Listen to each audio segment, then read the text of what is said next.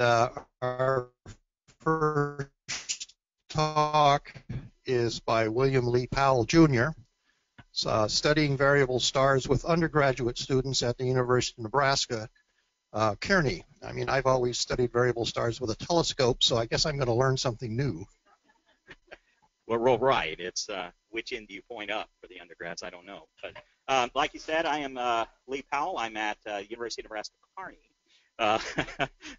Make that quick correction. Um, yeah, and so I, it's an undergrad-only institution, so I do work heavily with undergrads uh, as a rule. That's, those are the students I work with.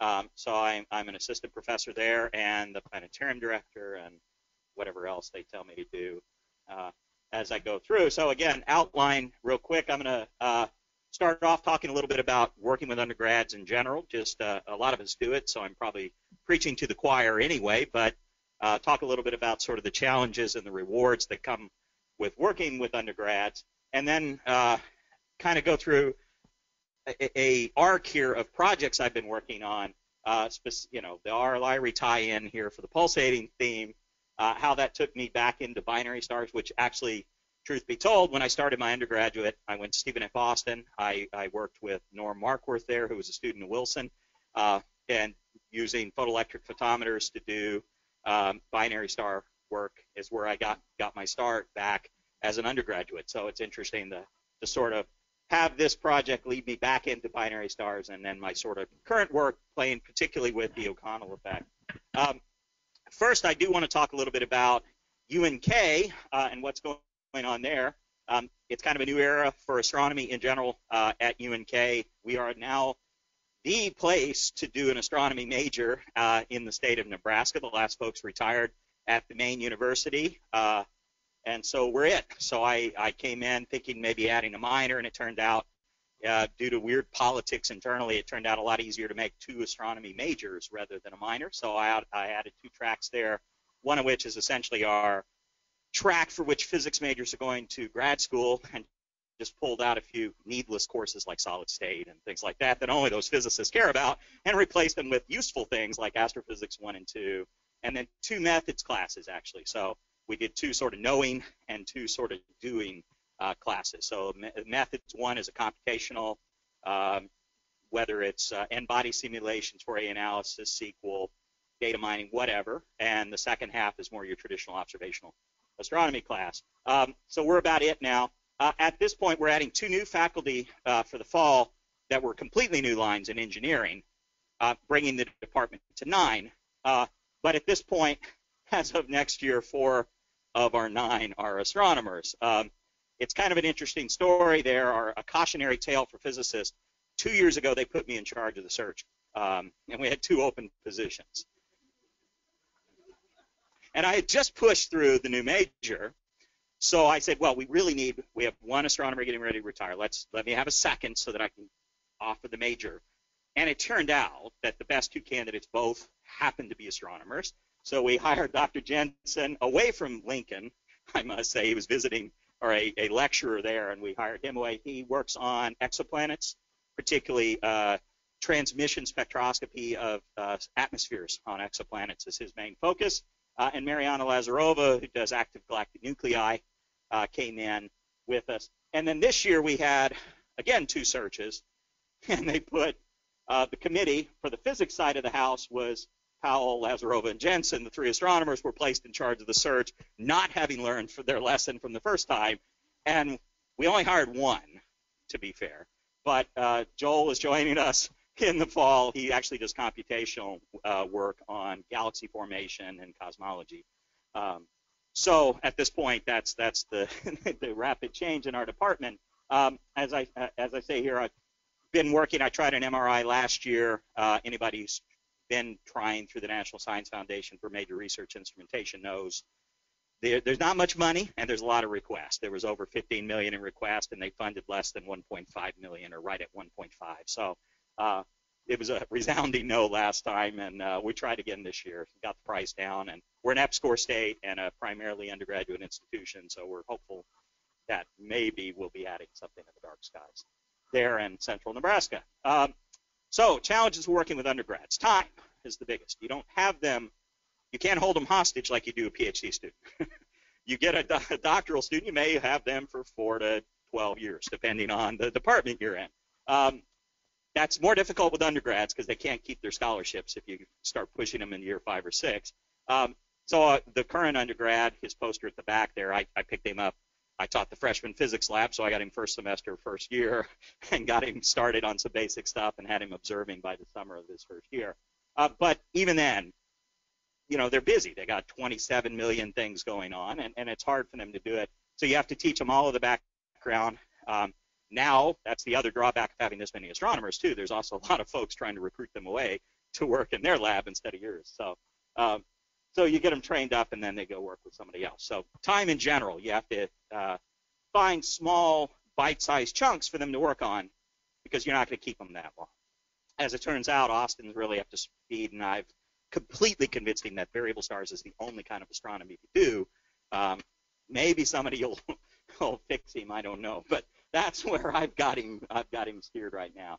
Um, so um, you have to use little mini projects that they can take ownership. Uh, that's really important at an undergrad institution with a project like this, just from a retention standpoint. If you can get them to take ownership of it, they're more likely to persist in the physics major or the astronomy major overall. They're more likely to persist in the field when they go on, just because they have that experience. If nothing else, they become, in the astronomy case, lifelong hobbyists. You know, you can get them interested in continuing one way or the other.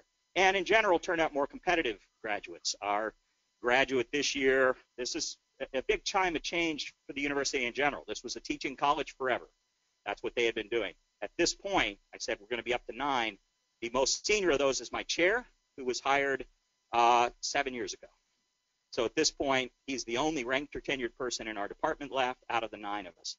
Um, so it's been a massive overturn, and we've gone from essentially all education majors to getting people that want to go into grad school. Our senior this year did very well. He only got turned down by one grad school. He applied to like eight, and Urbana-Champaign is the only one who told me no. So um, he just took the major field test, and I scored 98th percentile this year. So we've focused it on, uh, on getting the rigor up, and that's we've been successful in that focus doing that. So, uh, but research is a big part of that. He's been doing REUs or research in our labs from the start, and that's that's a theme we keep for all of our majors in general.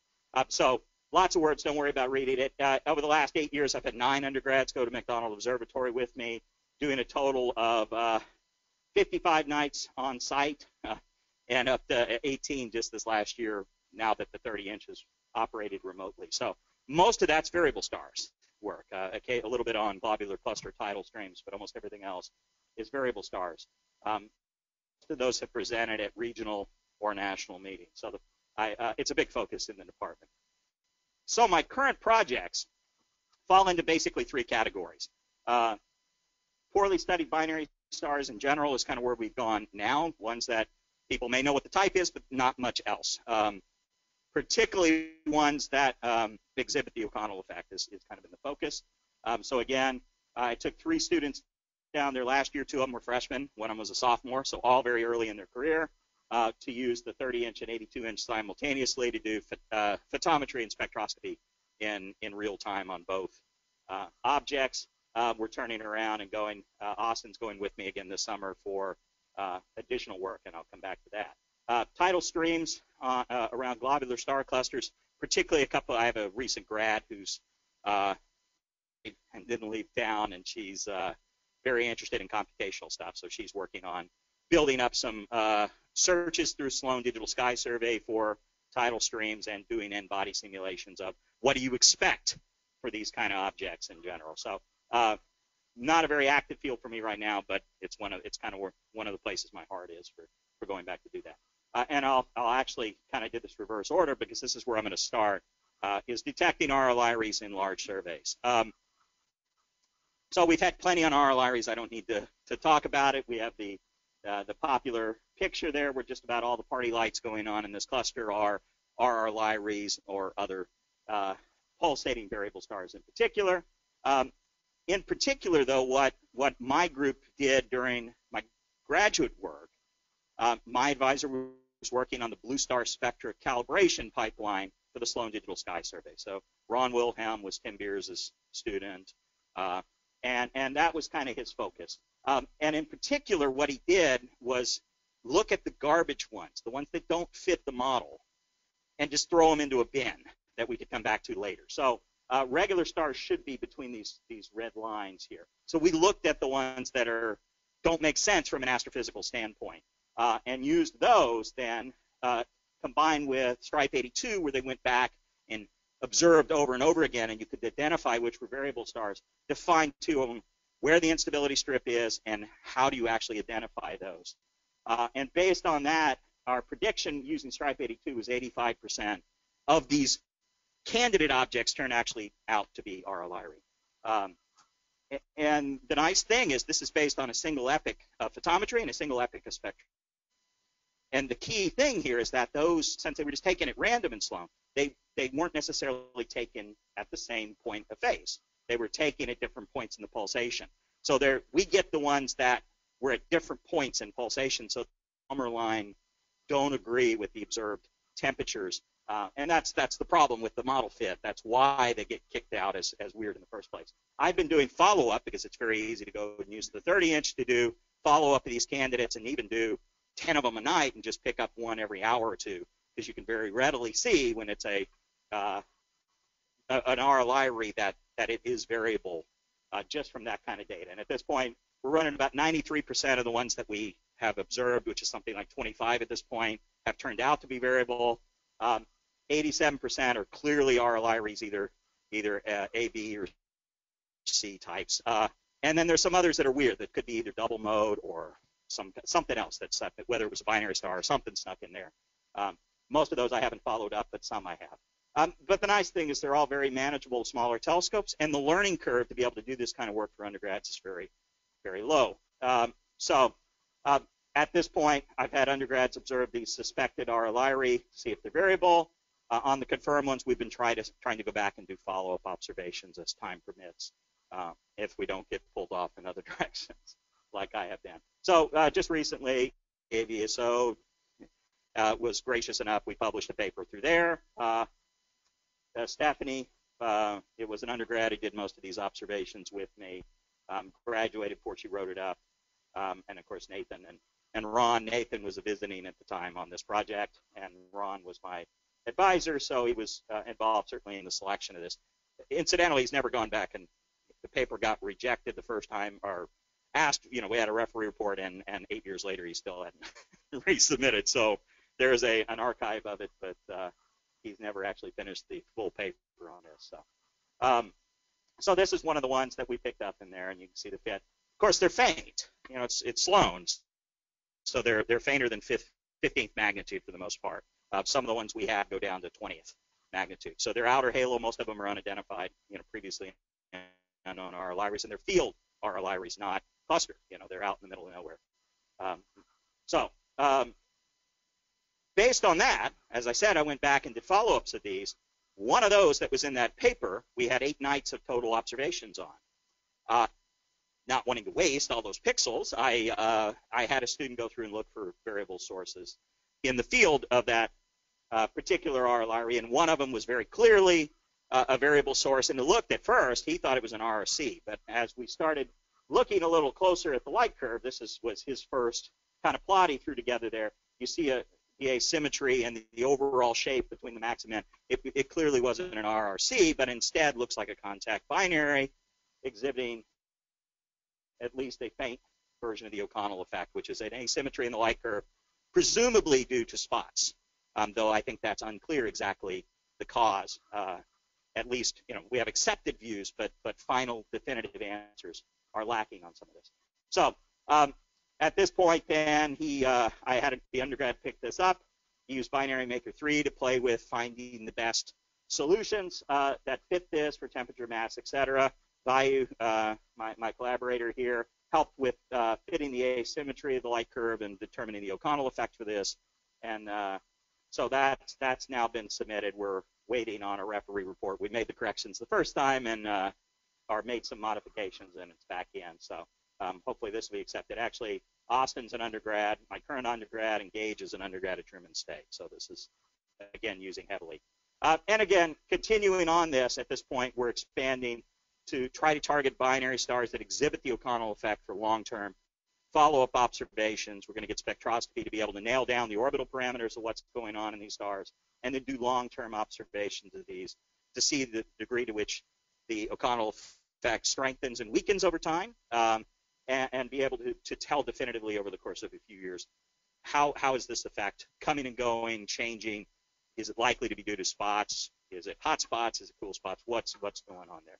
So I've got 20 nights more this summer, 13 remote and seven on site coming for McDonald uh, to work on this. So that's that's just kind of continuing. You saw his poster back there. Uh, uh, Austin's working with me this summer on what we call a summer uh, student research project uh, funded by the undergrad research office on campus. Um, he has to turn in a paper at the end of this to the committee. Uh, I told him just to go ahead and format it for submission to the AAVSO because at his his project we're just going to submit. It'll be a first offer paper for him. So he's going to pick up one or two of these stars and hammer on it just on his own. At this point, he can almost do it without me, but I'll make him put me on the paper. But uh, but he could almost do it without me at this point. So uh, so that's all all coming along. So that's that's kind of where we're doing at this point is analyzing those guys, uh, trying to get baselines for the O'Connell effect, and move on from there. So I'll leave it there and see if we have questions. I want to make sure we have time for that. So. Thank you very much. Thank you. Hello. Thank you very much. Thanks. Questions? Anyone have questions? No questions about I, I have I have one question. What do you do about the millennials? Oh. you know, uh, they can be interested in objects if you if you try to spin it to make it cool enough. I guess you know, tell them it's disco lights. I don't know. Uh, no, they, he's uh, Austin's worked really hard on this. He likes again. I think the ownership aspect of it is important. If, if they feel like it's just something to help somebody, you know, as part of a big project versus this is my project makes a difference with motivating undergrads at this point. So I'm I'm trying to make it his star that he's going to do from start to finish this summer. So. Uh, other questions? Okay. No. Uh, disappeared anyway, so good thing nobody asked that. All right. All right. Thank you very much.